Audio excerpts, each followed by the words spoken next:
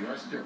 Учитывая настрой избирателей, Дуде, очевидно, предстоит сделать выбор. Продолжать политику национал-консерваторов, лояльную Киеву и максимально жесткую к Москве, или обозначить для Польши другой путь.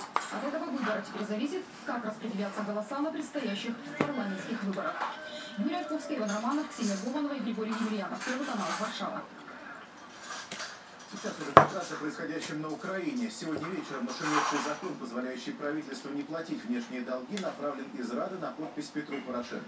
В случае вступления в силу документ будет действовать до середины следующего лета. В перечень обязательств, по которым Украина готова позволить неуплату, входят облигации на 3 миллиарда долларов, выкупленные Россией полтора года назад. О том, что Киев хочет погашать долги только на своих условиях, заявил премьер-министр Арсений Яценюк в интервью Financial Times. Оно опубликовано еще в пятницу, но только сегодня на него обратили внимание украинские СМИ.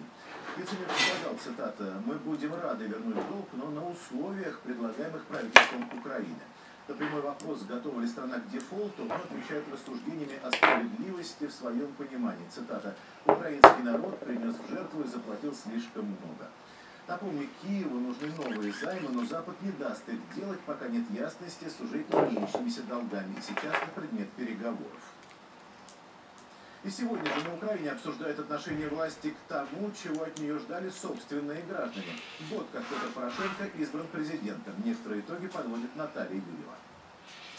Если вспомнить все, что Порошенко обещал год назад, то знаменитое выражение Бисмарка «никогда столько не лгут, как во время войны, после охоты или до выборов» обретает новую силу. В условиях и гражданской войны, и битвы за президентское кресло владелец кондитерской империи на свои обещания еще и срок годности не боялся ставить. В большинстве случаев он давно уже вышел.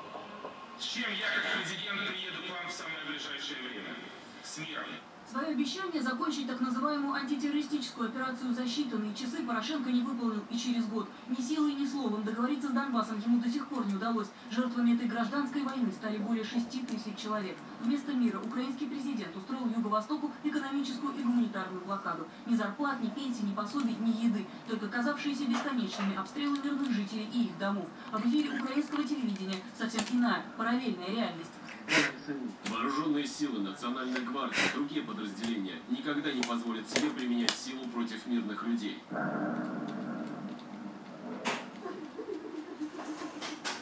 Они никогда не будут бить по жилым кварталам. Нам Порошенко, конечно, какой президент.